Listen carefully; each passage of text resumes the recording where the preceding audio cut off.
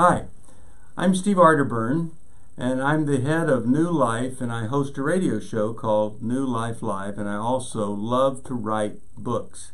And I've been involved with several children's series, and uh, the latest book I've done for anybody between age 8 and 12, or could be even younger, is a book called Kirby McCook and the Jesus Chronicles. Now look at this subtitle 12 year old, a 12 year old's take on the totally unboring, slightly weird stuff in the Bible, including fish guts, wrestling moves, and stinky feet. This is a Bible storybook, but I think you're going to find out it's not like any other Bible storybook you've ever read or had read to you. And my co author, Marcus Brotherton, he's a New York Times best-selling author, and I think this is one of the best things he's ever done. So let's get started. And I'll show you the illustrations as we go along. The book says, start reading here. So we will. This isn't the first chapter, it's just the introduction. Jimmy let out a sneeze louder than a motorbike with no muffler. And we knew we were doomed.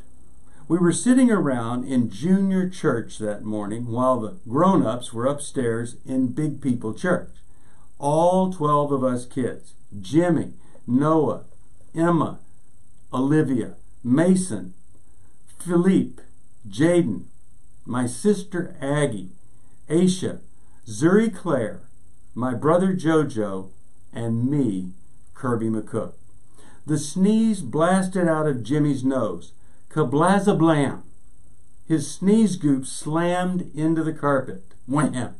And sat there like a pile of steaming monkey barf. I told you it wasn't like any Bible story book you'd heard before. That's when our teacher, Mrs. Higgins, threw up her hands and said, Oh, I can't do this anymore. And she walked out. Jimmy wiped his nose on his shirt sleeve, elbowed Jaden in the guts, and said, Go see where she's going. So Jaden slunk out to follow Mrs. Higgins from a distance.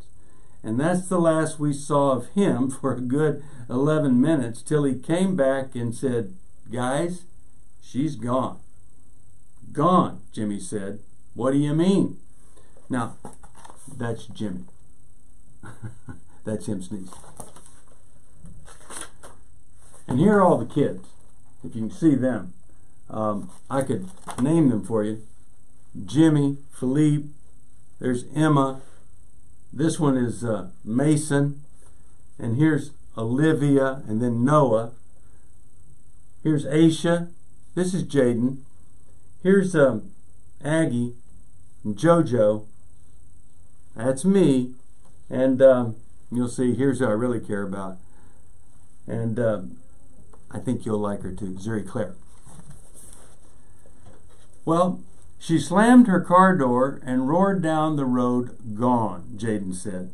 I saw Kirby's grandpa McCook talking to her before she left, but she did leave. I don't think she's coming back. Remember what Mrs. Higgins told us last time Jimmy treated us to a blasto sneeze. Aisha sighed. Mrs. Higgins said her blood pressure went up. Way, way, way, way, way up, whatever that means.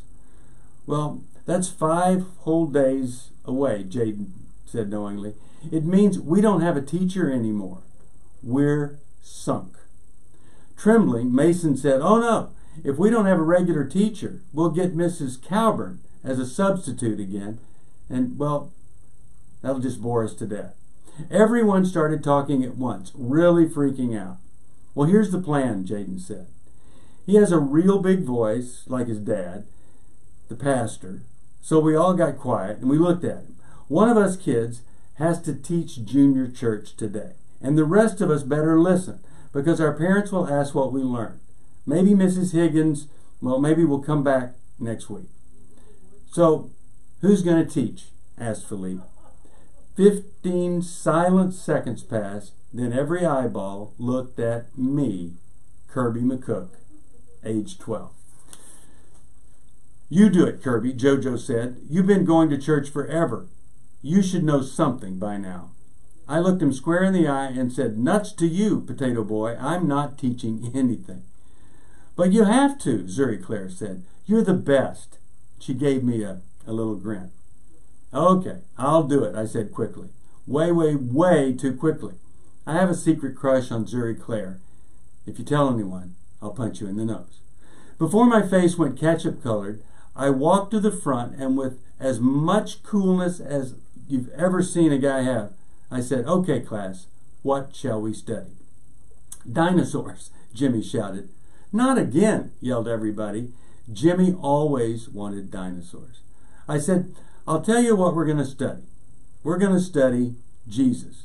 Jesus, everybody said, like that was such a surprise topic for junior church. How could I go wrong with a subject like that, right? Well, we began our study of Jesus. So that's the introduction to Kirby McCook and the Jesus Chronicles. And if you'll tune in next time, we'll start with story number one.